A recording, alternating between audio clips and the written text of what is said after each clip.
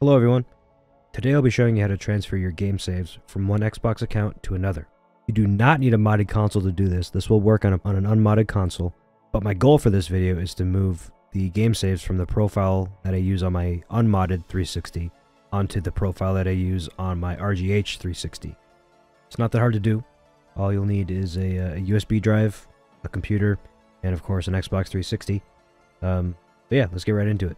The first thing you'll need to do is get a USB flash drive and format it on your Xbox 360. Um, so plug it into your console, navigate over to the system, then storage, and then down uh, at the bottom you'll find you'll probably find unformatted storage device, but I've already formatted mine. Um, so when you're hovering over it, press Y, go to Format, click Yes, and then it will format uh, in the proper file system for your Xbox 360. So now with your formatted flash drive inserted into your main Xbox 360, you can navigate to the game save or the saves you wish to transfer over to the new account. For this video, I'll be doing Guitar Hero 3, um, so I'm just going to go into my games and apps, scroll down to Guitar Hero 3, find the save, click into it, and then select copy, and then select my flash drive. So now that we're done copying over the save itself, now we need to go get the profile, which in my case is on my RGH system. So I'm going to take out the flash drive, plug it into my RGH system, then we're going to go transfer the profile off of that console onto the flash drive. So I'm going to navigate over to system settings and then hold down the right trigger while I select system settings uh, to go back to the original dashboard.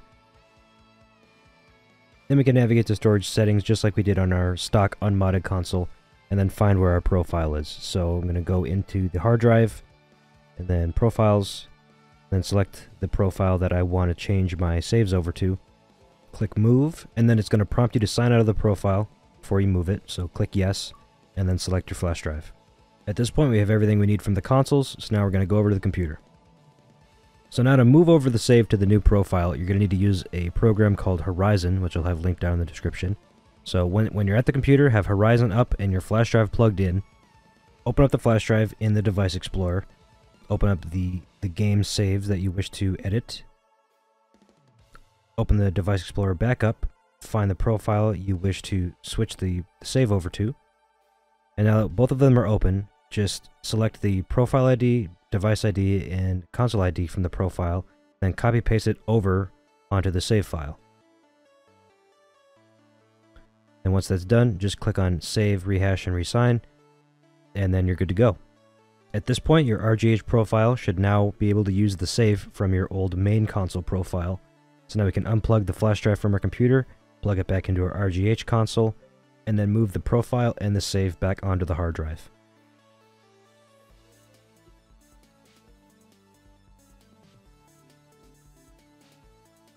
Alright, now we're done. All that's left to do now is to make sure that it worked. So I'm just going to boot up Guitar Hero 3 and, uh, and load the save.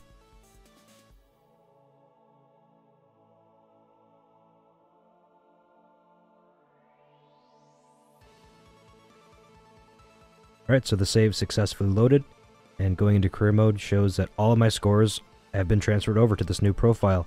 So now I can use my old save with all the new RGH content, like all the DLC and even custom DLC. So there you have it, folks. It's just that simple. Hope I was able to help some of you. Hope I was able to improve your RGH experience a bit now that you can just pick up right where you left off on your main console. Be sure to like, comment, and subscribe if you liked the video. And if you have any questions or if you run into any problems, uh, leave me a comment down below and I'll try my best to help you out. Uh, thanks for watching. Have a good one.